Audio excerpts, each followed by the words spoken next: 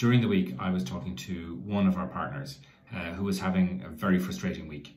And um, and I think what was going on, or I'm pretty I know what was going on because it's it's happened to me many times before in the past. Um, I, and I could, I could feel this from him that his head was full, right? There wasn't really any space for anything. And he was so frustrated, and any small thing that went wrong really affected him very, very badly.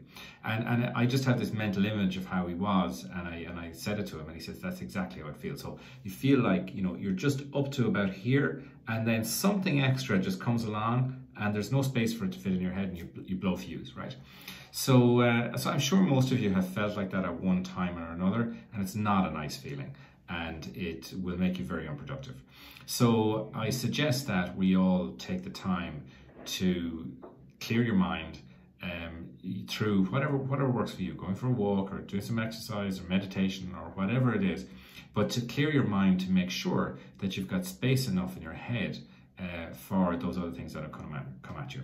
When your head is full like that and your brain is kind of tight, it feels tight, you make very bad decisions. You're going to lose sales. Uh, things will not go well for you. You won't be productive. So try and make that space in your head. Try and loosen things up a little bit. Try and make sure there's space there for those extra things that are going to come in and try and make sure there's space there for you to make good decisions, great decisions.